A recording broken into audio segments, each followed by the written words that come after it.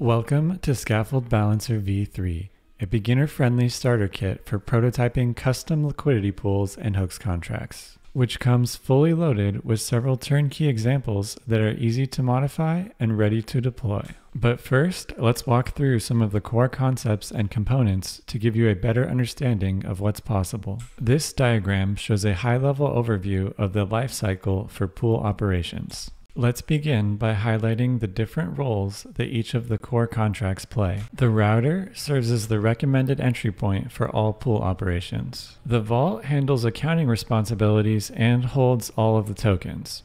Pools hold no tokens, but instead do the math for calculating the amounts for a given operation. As a developer, you have the flexibility to build on top of existing pool types or create a custom AMM with a novel invariant. Additionally, you also have the option to add a hooks contract, which can execute actions before and or after a pool does math for amount calculations. To get a better understanding, let's take a look at the first example we have prepared. This diagram shows part of a swap lifecycle using a before hook that adjusts the swap fee percentage prior to the vault making an on swap call to the pool. It's worth noting that there is also a more generic on before swap hook available, but it cannot adjust the swap fee like on compute dynamic swap fee percentage can. Furthermore, we also have after swap and after remove liquidity hook examples. But now that you're aware of the core concepts, let's jump into the code to talk about how the deploy scripts have been orchestrated. The first important thing to understand is that each script that deploys a contract should be executed inside the run function of this main deploy script contract so that the export deployments helper function can automate scaffold integrations with the front end. Notice that the default setup deploys mock tokens followed by several pool with hook examples. Let's check out this deploy constant sum pool function, where the first thing to note is that the config for deploying, registering, and initializing the pool are set by helper functions before any transactions are broadcasted. The first contract deployed is the pool factory because we need its address to pass as an argument to the hook contracts constructor. Next, the factory deploys a pool and registers it with the vault using the hooks contract address as one of the arguments for registration.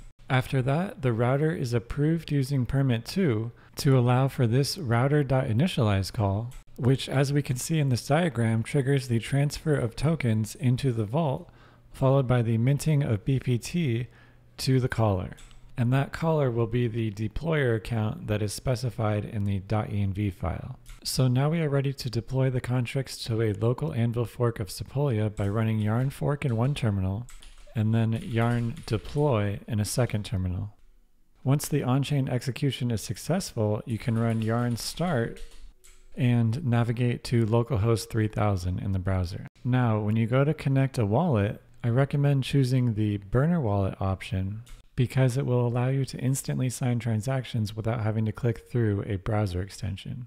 Now let's head over to the pools page where we can select one of the pools we just deployed to see all of the pool composition and pool configuration details. But the most exciting feature of this front end is actually the pool operations component, which allows you to add liquidity, remove liquidity, and swap. Now, notice that the UI is showing that we have no balance for either token. That is because the burner wallet is just a randomly generated private key that the browser keeps in local storage. Fortunately, this friendly notification allows us to mint 100 of each mock token.